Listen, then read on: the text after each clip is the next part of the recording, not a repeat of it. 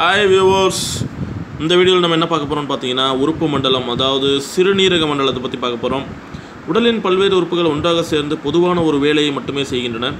இதுவே உறுப்பு மண்டலம் எனப்படும். இனி சிறுநீரக மண்டலத்தின் செயல்பாடுகளை விரிவாக காண்போம். கழிவு நீக்க மண்டலம் வளர்சிதை மாற்றத்தில் உருவாகும் கழிவுப் பொருட்களை இரத்தத்திலிருந்து பிரித்து வெளியேற்றும் வேலையை இம்மண்டலம் செய்கிறது. உடலிலிருந்து நைட்ரஜன் கழிவுப் பொருட்களை வெளியேற்றுவது இதன் முக்கிய பணியாகும். பாலூட்டிகளின் கழிவுநீக்க மண்டலத்தில் ஓரிணை சிறுநீரகங்கள் சிறுநீரக குழாய்கள் மற்றும் சிறுநீரக பை ஒன்றும் உள்ளது.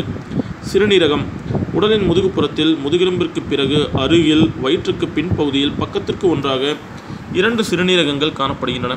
உடலின் வலப்பக்கம் கல்லீரல் இருப்பதால் வலப்பக்க சிறுநீரகம் சற்று கீழிறங்கி காணப்படும். சிறுநீரகம் வெளிப்புறம் குவிந்தும் உட்புறம் குழிந்தும் காணப்படும். குளிந்து காணப்படும் உட்பகுதி ஹைலஸ் என பெயர். அந்த டயராமில் பார்த்தீங்கன்னா உங்களுக்கு சிறுநீரகம் ஒரு நீள்வெட்டு தோற்றம் கொடுத்துருக்கு.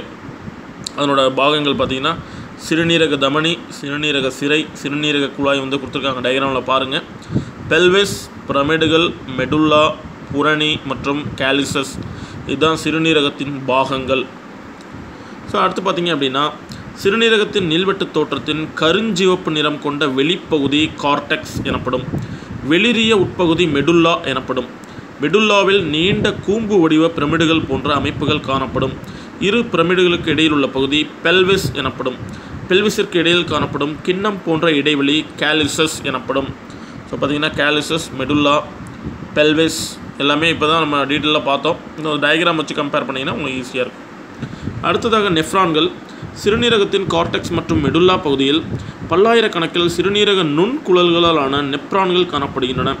இது சிறுநீரகத்தின் அடிப்படை அலகாகும். சிறுநீரகத்தின் அடிப்படை அலகு நெப்ரான் ஸோ டயக்ராம் பார்த்தீங்கன்னா நெக் நெப்ரானோட அமைப்பு எப்படி இருக்குது சேகரிக்கும் குழல் வந்து கீழே இருக்குது ஹென்ஸ்லேயின் வளைவு செய்மை சுருண்ட குழல் கிளாமருலஸ் அப்படிங்கிற ஒரு பாட்டு இருக்குது பௌமானின் கிண்ணம் அண்மை சுருண்ட குழல்.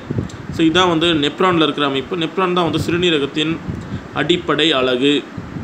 அடுத்ததாக சிறுநீரகத்தின் வேலைகள்னு பார்த்தீங்கன்னா சிறுநீரகம் ஒரு கழிவு கழிவு நீக்க உறுப்பு மட்டுமின்றி இரத்தத்தின் நடுநிலை தன்மையை பராமரிக்கிறது. இரத்தத்தின் பிஹெச் அளவை நிலைநிறுத்துகிறது. உடலிலிருந்து அதிகப்படியான நீர் வெளியேறுதலை கட்டுப்படுத்தி உடலின் நீர் சமநிலையை ஒழுங்குபடுத்துகிறது.